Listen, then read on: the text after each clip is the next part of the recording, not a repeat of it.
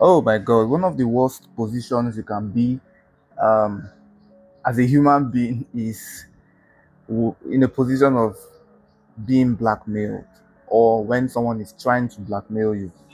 That is exactly what Chief Duro Soya is going through right now. Um, they currently want to blackmail him, the DPO, right? Trying to use his past against him, and there is solid evidence and danger looms because if Bassey confesses um, that he did not kill Chief Duro Sonya's wife, it means that Chief Duro Sonya might just be turned in and um, he will have to spend the rest of his life in prison. But I don't think he seems to be moved by all of that. Um, I think the DPO is just miserable and trying to look for someone to implicate. Now, um, what's going to happen with them?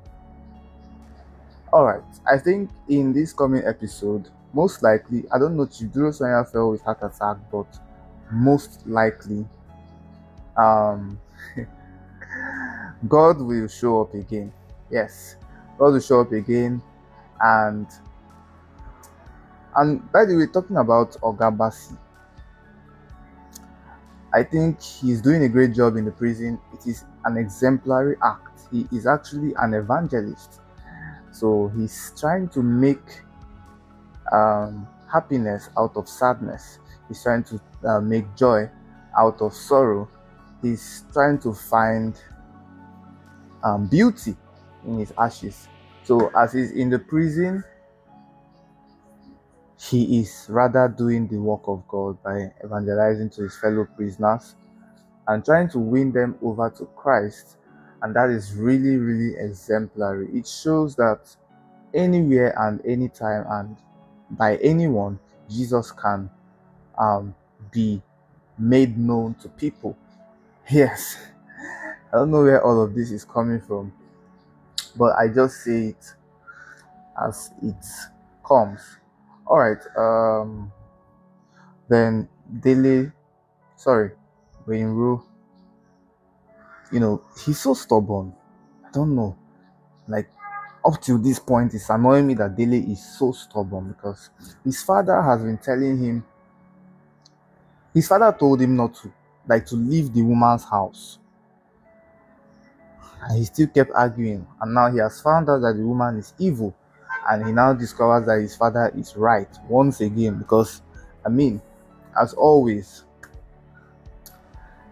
just like before when his father kept on insisting that he takes god seriously and you know yeah at that point in time he never listened and now his wife to be um died mysteriously and he's now facing the consequences. Uh, well, actually, yes, there are consequences because he no longer got married and he's now angry with himself, trying to um, make everyone understand that he had no hand in um, Eniola's death. Yes.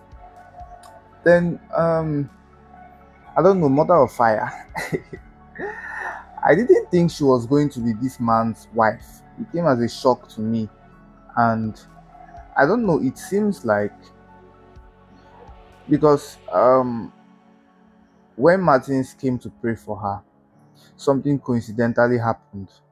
I feel like that was Satan that you know brought that event to coincide at that time to prevent the um, deliverance of that woman because I know God has been using Martins mightily in this Abattoir movie, and so um, he would have prayed for her, and she would most likely have gotten her healing. Yes, and you know that thing had to happen to like distract him. And you know, when they say your father is in the hospital with cardiac arrest, it is difficult to, you know, be in the right frame of mind to still pray for another person. So it's understandable that he had to leave. So at that point, there was nothing he could do. Um, but along the line, Billy and his friends came around, right? They came around to um, pray for Mother of Fire, who is um, Eva's mother by chance. So, yeah, she happens to be Eva's mother and she happens to be sick as well. And yes, let me let me say, passing through so what we call the consequences of her actions. But then there is still hope for anybody, you know, despite whatever they have done in their lives. So Eva um, had to bring these men, these these guys over to um, the house to pray for her mother because, I mean, she's at a terminal stage, a, a fatal stage where she might likely lose her life because the grandmaster has already assured her that there will be calamity upon her family. So, I mean, only the divine intervention of God can help her out of this. So, when Dele led her to Christ, which is like a safe space, um, I don't know. it was the end of the movie, they created suspense by I don't know. She said she can see somebody. Whoever that was, I do not know. But I think it was definitely going to be the Grandmaster that appeared at that point. But none of them could see the person she was seeing. And I think the Grandmaster appeared at that point to like fight for his own, in quote. So he did not want her to be saved. This reminds me of the battle that Chiduro Sonya fought when he was um, on the hospital bed. The previous time with Bade, there was a lot of battle. Satan was literally trying to get him, the spirit of death, and all of that. I think this is similar. Mother of Fire's husband had already gotten tired of um, the whole thing because everyone that came around seemed to leave just like that without providing any solution. Then I'll end with this God is wonderful. God is real. God is amazing. And it was depicted where the um, you know officer in charge of the prison um, told Bassey secretly that he likes the work that God is doing through him and that his daughter was healed. And uh, I think his second daughter got admission or something. So God literally answered his prayers, and so for that reason, he's literally supported everything that um, Bassey was doing and gave him a go ahead to continue doing whatever he was doing, and that he has his full support. All right.